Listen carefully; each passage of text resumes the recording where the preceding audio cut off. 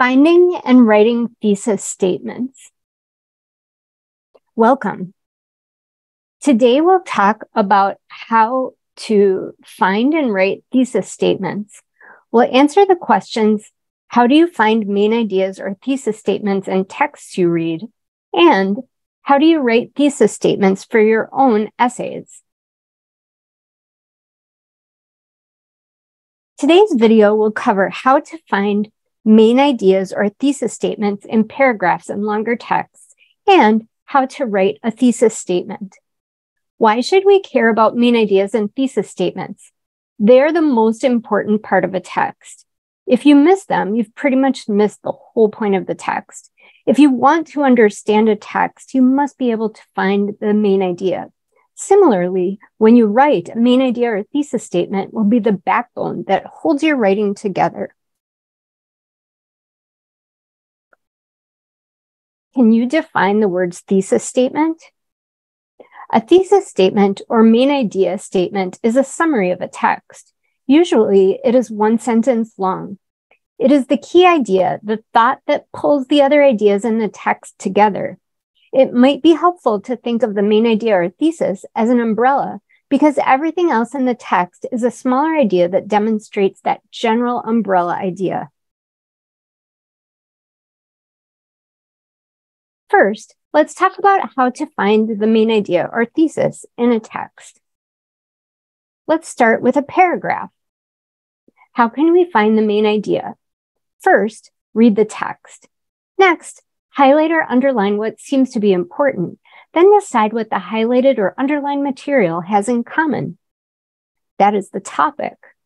Last, ask yourself what the author is saying about the topic. That is the main idea or thesis. Here's an example paragraph. As I read, think about what seems to be important in the paragraph and see if you can find any commonalities. Queen Isabella of Spain, who died in 1504, boasted that she'd had only two baths in her life at birth and before her marriage. In colonial America, Leaders frowned on bathing because it involved nudity, which they feared could lead to loose morals. Indeed, laws in Pennsylvania and Virginia either limited bathing or banned it outright. And for a time in Philadelphia, anyone who bathed more than once a month faced jail. Furthermore, some of the early Christian churches discouraged sudsing up because of its association with the immorality of the Roman baths. Clearly, the notion that cleanliness is next to godliness has not always been a popular one.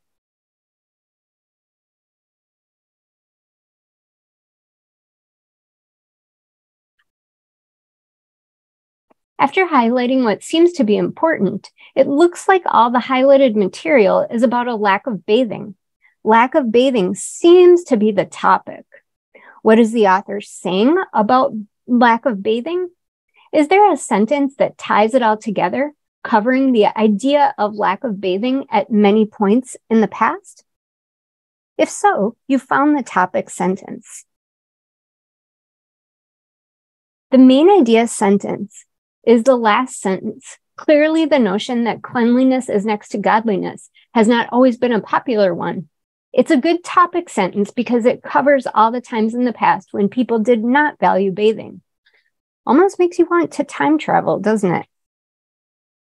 You can use the same process to find main ideas in essays. First, find the main idea for each paragraph or section. Next, see what the paragraphs or, or sections have in common. That's the topic. Then ask yourself what the author is saying about the topic. That's the thesis. You can use the same process with chapters in a book. Now let's talk about how to write a thesis statement. This is something you'll almost certainly need to do for college essays. What is the job of a thesis statement? You may notice that the same elements, the topic plus the author's comment, will make up the thesis statements as you that you write, as well as those you find in other people's texts. A thesis statement in an essay should state the essay's topic or subject, just one, It should limit the topic, making it more specific, including your comment about the topic.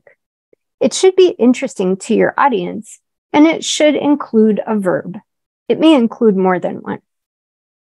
Note, a thesis statement is usually located in the last sentence of the introduction and is restated in different words in the first sentence of the conclusion. Here's a sample thesis statement.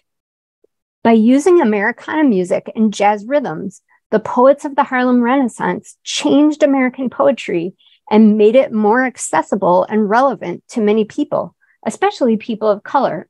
Who or what is the subject? the poets of the Harlem Renaissance. What is the author saying about the poets of the Harlem Renaissance? They changed American poetry and made it more accessible by using Americana music and jazz rhythms. What's the verb? Changed. Let's look at another example. This essay will discuss the Black Lives Matter movement. Is this a good thesis statement? We do have a topic, the Black Lives Matter movement. What is the writer's comment? Mm, nothing. This is not a good thesis statement because it hasn't been narrowed by the author's comment about the topic.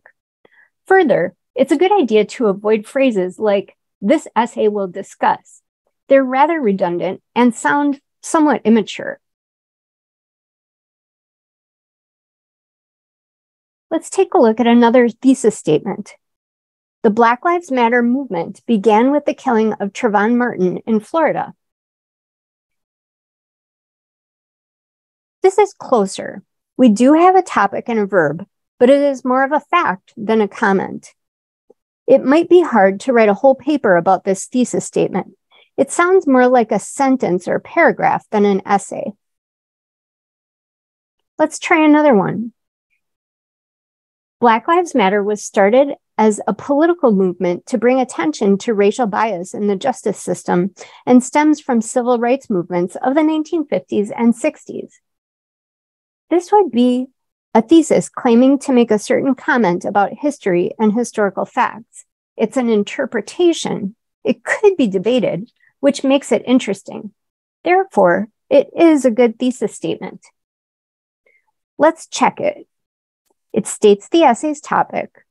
It limits the topic, making it more specific. It's interesting to the audience. So it's a good thesis statement. Here's another possible thesis statement. Black Lives Matter has little to no relationship to the main civil rights movement of the 1950s and 60s. In fact, it is more an offshoot of one of the more radical branches of those movements. Again, we've got a topic and we've got a comment about it, but this author has offered a different interpretation of the same historical events. Let's try a third thesis statement. Black Lives Matter was not started as a political movement, but rather it was a grassroots community response to a tragedy that morphed into a political movement to bring attention to racial bias in the justice system. All three thesis statements use the same topic, Black Lives Matter, but the author's comments are different. All three thesis statements work because they have a topic and comment on it in an interesting way. The most important thing to do when you write a thesis statement is to answer the prompt your instructor gives you by including a topic and commenting on it in an interesting way. This list of thesis statement starters is only a beginning, but it might help you as you begin writing thesis statements. The first format is X is true because of one, two, and three.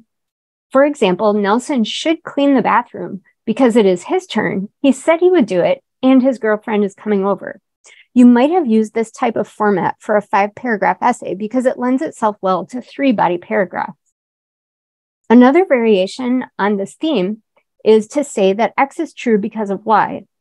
For example, cars should be outlawed because they cause so many problems. The body paragraphs would then explore all the problems that cars cause. In the same way, the first thesis statement could be simplified to say Nelson should clean the bathroom and then the body paragraphs would list the reasons why. A third type of thesis statement is X is more blank than Y because of blank. For example, Taylor Swift's early songs are more accessible than her later songs because they are simpler. This format would, you, would be used for a comparison contrast essay. The essay would explore the differences between her early and later music. A comparison contrast essay could also be structured like this. Although X and Y are similar in some ways, they are also different. For example, although Devani's and Domino's are both affordable, Devani's offers a better restaurant experience. This format shows similarities and differences. In this specific example, you would need to define what a restaurant experience would mean. You'll notice that all of these sample thesis statements are somewhat debatable, except, of course, Nelson cleaning the bathroom, because obviously he should. Today, we learned about finding main ideas in paragraphs and longer texts, and we also learned how to write a thesis statement. The key points in both are to find a topic and see what the author is saying about that topic. Soon enough, that author will be you. Thanks for watching this video. I hope you found it helpful and good luck with finding and writing thesis statements.